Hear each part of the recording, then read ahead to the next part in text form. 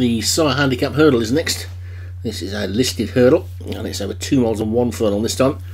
It's 0 to 140. Top one is practice for James Shea, Fiorenti, Paul Rhodes, Snugfit Valediction, James Shea, Argira, Darren Thompson, Portland Harbour, Vinnie Gerard, Jemima Camera, Alex Cherry, Turbo Jet, Red Eyes, Annie's Land, Alex Cherry, Solomade Fiction, Thomas Rogers, and Talbia Saved for Dan Hughes.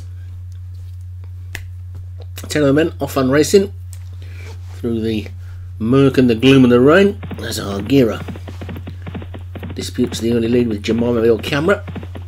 Fiorenti just tucked in behind them, but they're very tightly packed at this early stage in the race. They've got 10 flights to take in all this time, and they are powering into the first, which they've all got over nicely. With Solomade Fiction just the early back marker as they get over the second.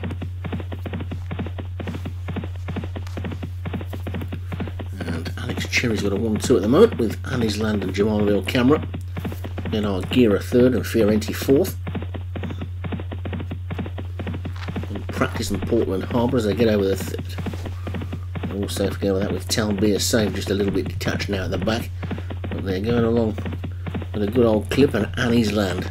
He's three clear of our Argira, Fiorenti, and uh, Jemimaville Camera. In Snugfit Valediction and practice wider on the track. Turbo Jet and the pale colours. In between Portland Harbour and uh, Solomade Fiction. Talbia Save the one who's just out of shot. But Annie's Land is four lengths clear of the chasers. And those chasers are headed by Argira as they get to the fourth. So they all managed to get over nicely.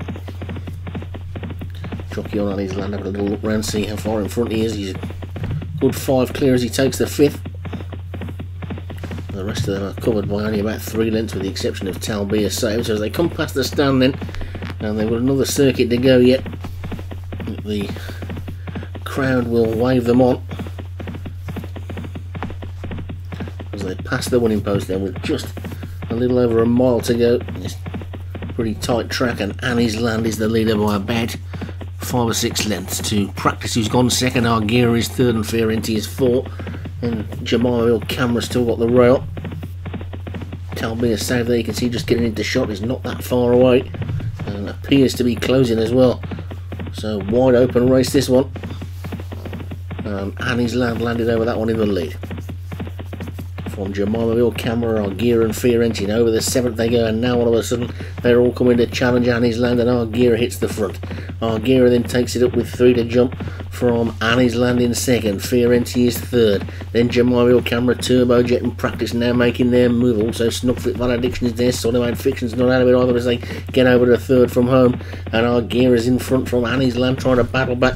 Jemimaville Camera comes off the fence and now swings around the outside to come through and join the leader, but it's our Argira in front still from Jemimaville Camera, Annie's Land, Snugfit Valediction up the centre of the track, Turbo Jet looks to be going well, Solomade Fiction is looking for a dream split up the inside, but it's Argira who's just about ahead in front then with two to jump from Jemimaville Camera on the one side and on the inside Annie's Land. Turbo Jets after that one, then Snugfit Valediction, Fiorenti and Solomade Fiction. Surely between these although Portland Harbour and Practice and Talabia Sabre are still trying to run on over the second as they go. Jemimaville Camera made a mistake. Argira wasn't foot perfect. Turbo Jet now really powering on the turbos up the centre of the track as they race down towards the final flight. Then over it they go. It's Argira who lands in the lead from Jemimaville Camera and Turbo Jet is a furlong to go. And Argira is beginning to tie up Turbo Jet and Jemimaville Camera beginning to challenge him. And Turbojet zoomed into the lead. And Turbojet is going off like a Turbojet and takes it on the line. Turbojet wins it. Jemimaville Camera, Argira,